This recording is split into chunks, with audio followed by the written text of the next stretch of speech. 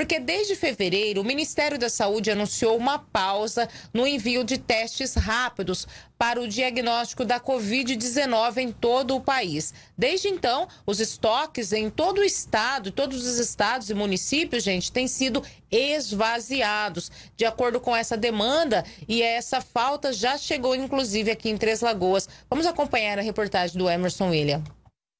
Quem está com sintomas gripais e vai às unidades de saúde tem notado a falta do teste rápido para a Covid-19.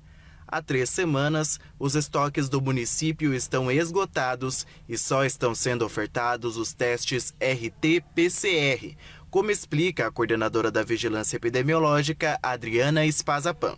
Que é o diagnóstico ouro né, para Covid é, em pacientes grupo de risco né? Deixando claro que esse tipo de paciente, paciente cardíaco, gestante, é, o paciente que tem algum problema de saúde, ele precisa ser testado com esse outro teste, né? Na ausência do teste rápido.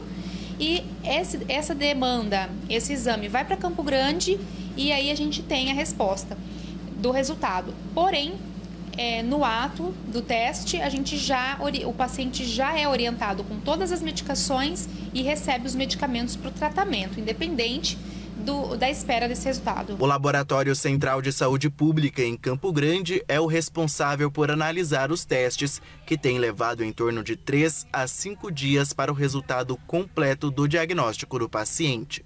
No teste rápido, o resultado sai em menos de 30 minutos. Ambos são coletados pelo cotonete através da secreção nasal.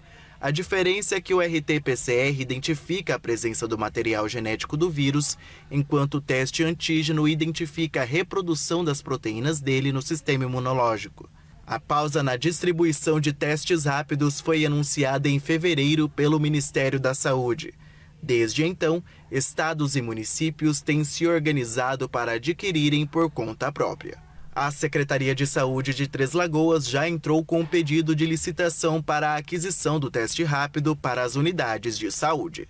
Segundo a Vigilância Epidemiológica, os testes aptos para a Covid-19 devem retornar às unidades de saúde de forma geral no prazo entre 30 a 45 dias.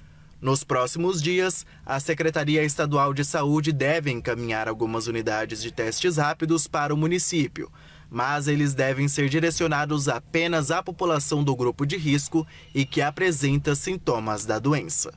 A falta de testes ainda não tem causado impacto nos atendimentos médicos e nos pacientes, como avalia a coordenadora da Vigilância Epidemiológica. Visto que já era um teste que já estava assim muito em desuso, com pouca adesão da população, né?